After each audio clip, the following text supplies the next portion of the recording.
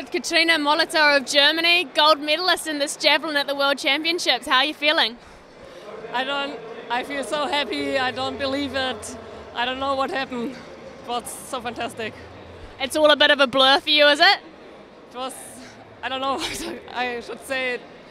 I dream of a medal, but that it is gold. It's unbelievable. 67.69 to a personal best for you. You must be delighted with that. Uh, the throw in Zurich uh, in Lucerne was 66.40, so I know I can throw fast, maybe a little bit farther than this, but 67, I don't think about this. Thank you so much for your time. Congratulations.